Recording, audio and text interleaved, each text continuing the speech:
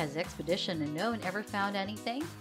Expedition Unknown is a reality series that relates exploits of Josh Gates, an explorer and archaeologist. He sets out to find answers to some of the most fascinating mysteries the world has ever known.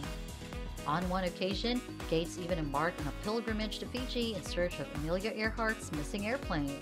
Other than that, Josh even goes in search of treasures once considered lost, hunting for hidden cities in the process. Expedition Unknown thrives on intrigue and thrill of adventure. As such, a lot of critiques often wonder if Josh Gates has ever found anything interesting. About the show Expedition Unknown is a show that airs on the Travel Channel. The series premiered on the 8th of January 2015. Over the next few weeks, fans would watch as Josh embarked on incredible adventures. He ventured to Cambodia in search of a lost town associated with the Khmer Empire, tracked down Moscow's long lost amber panels, and even traversed the Inca Trail in an effort to locate the lost city of gold. Most recently, Gates took a plunge into the depths of the chilly waters of the Midwestern lakes. He was looking for the rumored loot of the famous thief and bank robber John Dillinger. Expedition Unknown is currently on its 10th season. Is the show real or fake?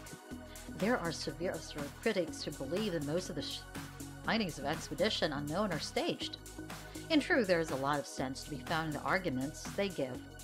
Most reality shows are scripted, and Expedition Unknown is no different as the show follows a certain formula for each episode. The likelihood of Josh making a genuine discovery are slim to none, as particularly as some of these artifacts have been lost for centuries. We should, however, note that Josh has made some genuine finds over the years. Has Expedition Unknown ever found anything?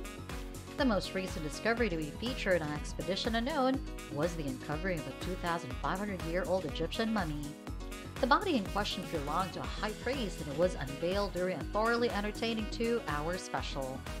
Other than that, Josh has also located a few Roman coins that date back centuries. About four years ago, he'd also dig up a collection of large mammoth bones.